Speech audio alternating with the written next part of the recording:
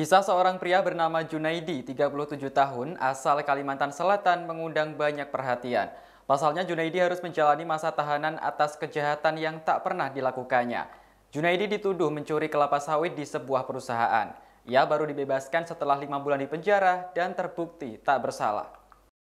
Dikutip dari kompas.com, Junaidi adalah warga desa Sesulung, Kecamatan Pamukan Selatan, Kabupaten Kota Baru, Kalimantan Selatan.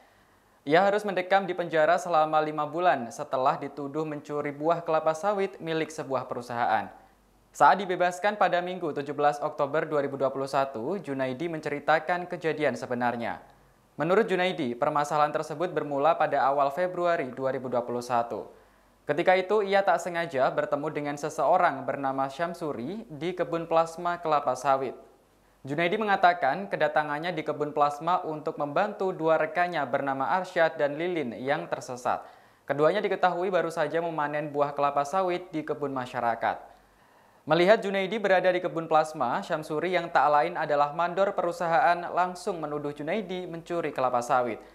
Syamsuri juga mengancam akan mengadukan hal itu ke pihak perusahaan. Menanggapi tuduhan itu, Junaidi kemudian berinisiatif untuk menelpon kepala desa guna meminta bantuan. Oleh kepala desa, Junaidi diminta untuk menyelesaikan persoalan itu secara baik-baik. Namun beberapa hari kemudian, anggota kepolisian dari Polsek Pamukan Selatan datang untuk menjemput Junaidi di rumahnya. Polisi beralasan akan membawa Junaidi ke mes perusahaan sehingga Junaidi pun bersedia untuk ikut. Namun nyatanya Junaidi langsung dibawa ke kantor Polsek Pamukan Selatan. Ia sempat merasa janggal lantaran polisi yang menjemputnya tidak membawa surat penangkapan. Terlebih saat ia ditangkap, ada seorang satpam perusahaan yang ikut serta. Selama ditahan dan diinterogasi oleh petugas, Junaidi tetap bersikukuh tidak mencuri sebiji pun buah kelapa sawit. Hingga akhirnya ia dibawa ke Polres Kota Baru untuk penyelidikan lebih lanjut.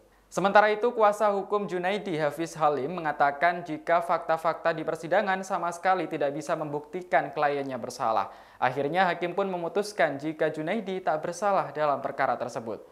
Kuasa hukum Junaidi berencana akan menuntut balik perusahaan karena dinilai telah merugikan kliennya. Namun, Hafiz masih menunggu keputusan selanjutnya karena Kejaksaan Kota Baru telanjur melayangkan kasasi ke Mahkamah Agung.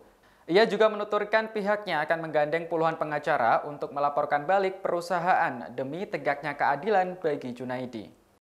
Demikian Tribun News Update kali ini. Nantikan perkembangan informasi terbaru lainnya hanya di Tribun News. Terima kasih sudah nonton. Jangan lupa like, subscribe, dan share ya.